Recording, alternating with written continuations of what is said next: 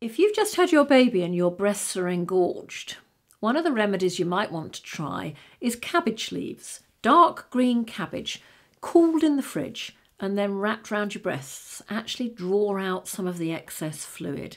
Don't put them in the freezer, don't get them wet, just apply them straight onto the breast and leave them there until you feel a little bit of relief.